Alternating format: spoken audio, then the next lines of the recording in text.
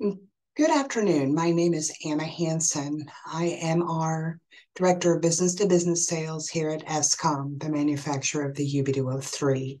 And today I am going to be going through the training on how to use your recent UB that were integrated into your offices. The UB oh is a face-to-face communication device that is going to enable you and your team to communicate simultaneously in real time with anyone you encounter that is deaf, hard of hearing, um, or late deafened.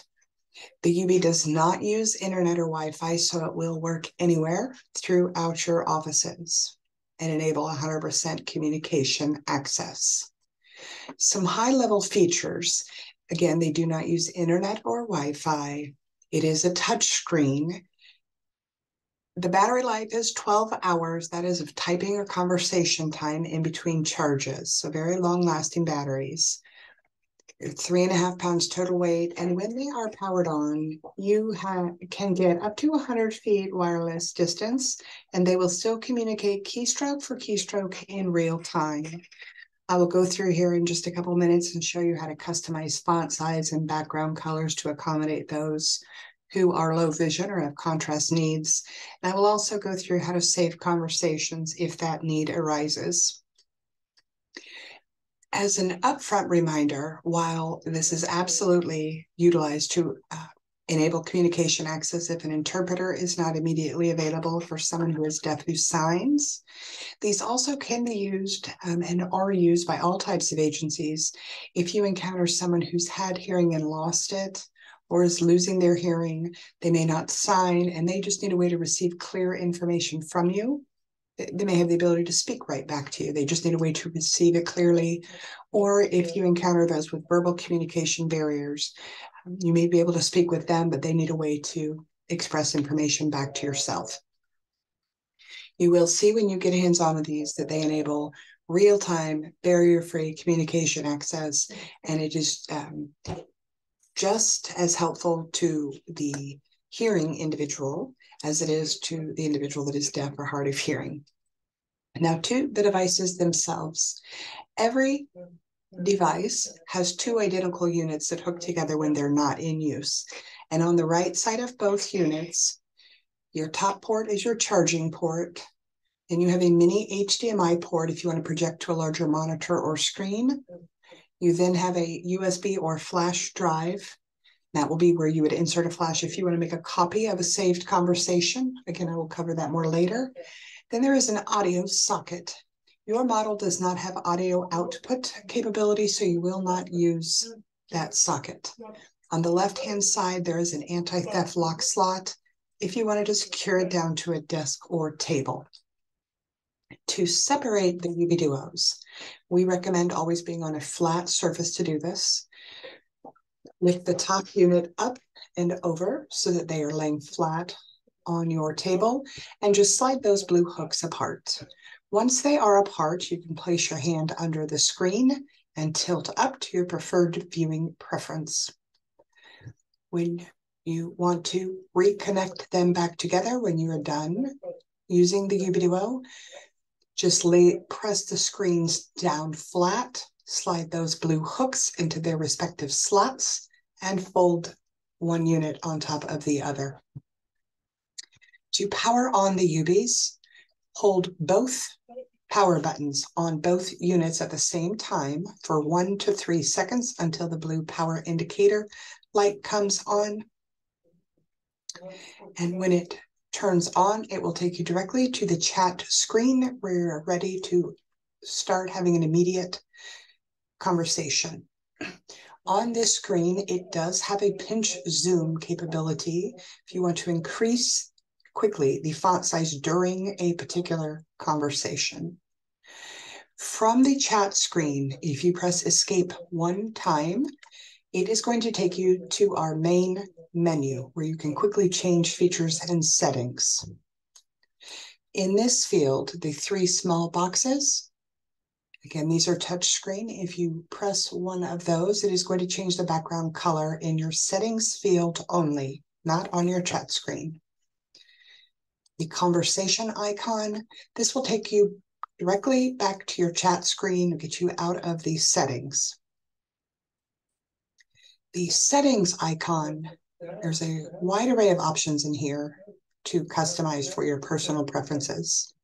And in this field, when you press settings, you will see six options, appearance, about, in range, time date, UBID, and administrator. You will also notice a black, a white back arrow on the top right of the screen. Pressing that back white arrow will take you one prior setting screen back, so you will not get lost in these settings. Now I'm going to go through each of these icons so you know what is located in each. Mm-hmm. Under the appearance, there is brightness, screen options, and fonts. Under brightness, you have the capability to increase or decrease the screen brightness. You also have the ability to turn on or off the backlight on the keyboard. You can use your finger on the screen to move those up or down and then press accept on the screen or enter on the keyboard and it will adjust those settings for you. Any settings you change in the settings field uh, is what will turn on every time the device turns on. And if you're making changes to one of your units, that information will not pull over to your second unit. So you will need to adjust both units individually. Backing out of brightness, the next option we will go through is screen options. This is where you can design how you want it to be visually set up for your preferred viewing preference. Scenario, yours will stay in two-way chat. That means your two units in your device communicating together only. The format, if you press format, it is going to rearrange uh, whether the conversation screen appears vertically or horizontally the order, if you press order, it is going to toggle whether your conversation is on the top or the bottom of the screen. If you have a preferred reading preference, you can easily adjust that. And again, press accept or enter, and that will make those settings permanent until you come back in and make changes later. Backing out of screen options under fonts. In here, there's a wide array of options to adjust to your preferred preferences family, style, point. Under the point or font size, if you press point, you can go as small as font size 8 and as large as font size 72. But when you press point, it is going to give you six options that are close to your current settings. If you need to get larger or smaller options, just use the up or down arrow keys on your keyboard to easily scroll through to your preferred point or font size font color and background color. There are a wide array of colors here to, um, to customize. Make sure when you are adjusting these fields that the font color is different than the background color so you can see the contrast on the screen. And then push accept or enter and that will update your settings. Backing out of appearance under time and date. In this field is where you can update to have accurate time and date on your UbiDuos. This would be recommended to be correct if you plan on saving conversations. All conversations that are saved are saved in a transcript format with a time and date stamp. In this field, you must only use the tab key to scroll through month, day, year, down to your hour, if that is the field you're trying to adjust, and then use your up or down arrow keys on the keyboard to adjust that hour. And then you may push accept on the screen or press enter on the keyboard and it will update for you. Do not try to use the touch screen and type in the number 11 in the hour field or it will not accept your changes. the next icon I'm going to go through is UBID. In this field, you have the ability to name both of your units. This is a utilized feature for those that do save conversations that would reflect accurately who was having the conversation. Currently, when the device leaves our facility, it is a serial number, and one of your units is serial number ending with the letter A, side A, and the other is that same serial number, side B. If you backspace out or delete out that serial number placeholder, you can name your unit and press accept. I'm going to go through these next icons. So these were not will not be normally utilized for your team. The in range icon is going to recognize any other UbiDuos that are turned on and within 300 feet of your unit. In my example on my screen, you see one serial number, one unit, and there's a thumbtack. That is my partner unit on my device. For your office, you do not have multiple devices in each office, so you will not see additional units. Um, this field is for groups that have multiple devices within an office and they can sync or pair so that three or four people could have a conversation at the same time. the About icon, this shows the current UB operating system and UbiDuo software that's on your device, as well as the physical battery percentage that is left on that unit. On every screen, including your chat screen, there is a power icon where you are able to gauge approximately how much battery you have left on your unit. And then finally, the final option under settings, the administrator.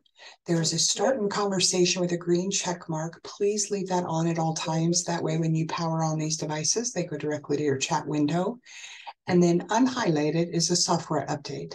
If we here at sComm make an upgrade or software change, we would email out to our direct points of contact with your agency to give them those instructions for that. That is not frequent, but we will reach out to our primary points of contact with your agency and make those arrangements. And then finally, the final icon under the main menu which again, you get to the main menu by pressing escape one time from your chat screen, is the saved icon. And this is where all saved conversations will be stored. Again, nothing saves automatically. So if you have a five minute or two hour conversation and you power off the device without saving, it is gone forever. Um, if you want to save, you must save before powering off. There's not a way to recall it if you have, have turned it off without saving. To save a conversation at the end, when you are finished with your conversation, all you need to do is press Control S at the same time. It's going to pull up a file name box. You will backspace out the word chat log, name your file, and there'll be a dot .txt. Leave the dot .txt in there. Press Enter for a moment, there'll be a blue bar while it's saving, and then it will take mm. you back to your conversation on your screen. From there, if you push escape one time mm-hmm. and then select your saved icon, then select your file. And I'm going to pretend here for this example that you have saved the, that file Anna. If you open, if you select the Anna file, you will have three options. You can view it, to reread through a conversation. The save in this field is where you would insert a USB or flash into the right hand side of your unit and press save. It will make a copy to your flash. You could take that to your computer um, to save to your computer or to print off. The UbiDuo does not connect to printers or to your computers. And then finally, there's an erase. And another for groups that save conversations once they've transferred it, um, most do come in erase so that others are not reading through those conversations. Here is an example of a saved conversation in the transcript format with a time date stamp. In my example on my screen, one of the units is named Anywhere County Sheriff and the other is Victim Case Report Number. But again, that just gives you an example of what that would look like if you do save a conversation.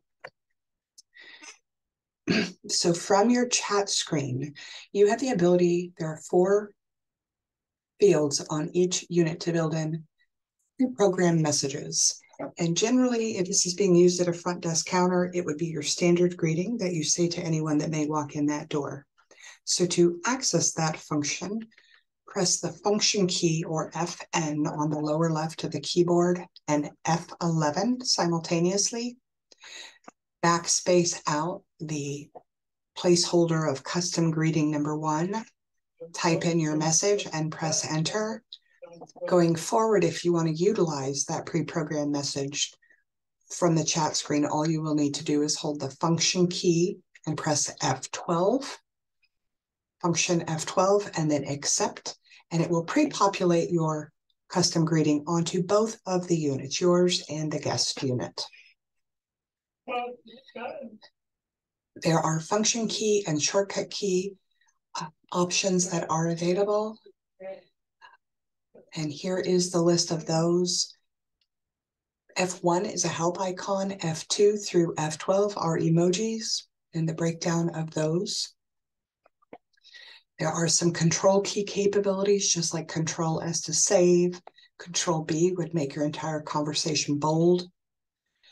The shift F7 when you are on the chat screen, if you press shift F7, that is going to clear both screens, clear slash delete the conversation off both screens simultaneously.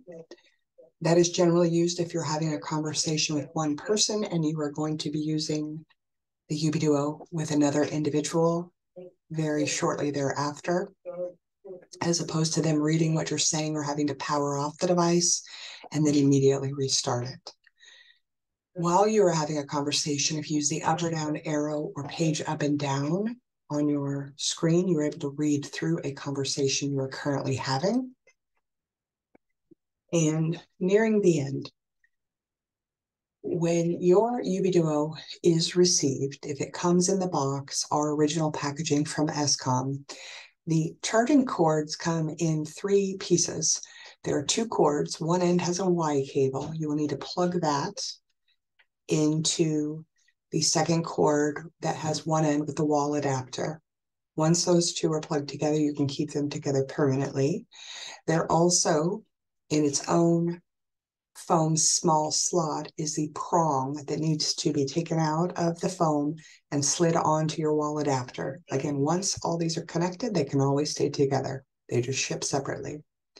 To charge your UbiDuos, you will take, plug the wall outlet in on the Y cable. One end of that Y cable will be plugged into one of your units and the second other side of the Y cable will plug into the second unit so that both units charge simultaneously. About five seconds after you plug them in and they are receiving charge, the power indicator lights will go red, letting you know that they are plugged in correctly and they are actively charging. When they are fully charged, that power light will go dark um, letting you know that they are full charged. You can charge these when they're folded over, when they're separated. You can charge them while they're being used. That will not hurt the devices. And then finally, serial number location. If you do name both your units, just so you know, your serial number is located underneath the screen on the inside leg of both, actually of all units that your agency has, but on the inside leg of both of your units in the device. And that would be needed if you ever need to call into us to help troubleshoot. So finally, you are now ready to use your UbiDuo. Greatly appreciate your time. And to clarify, if there are any issues with your UbiDuos, please first contact Peggy Cadwell and Annie Burkhart within your organization, and they will reach out to us to make those arrangements. Have a wonderful day, and we appreciate your time and are excited for you to start using your UbiDuo.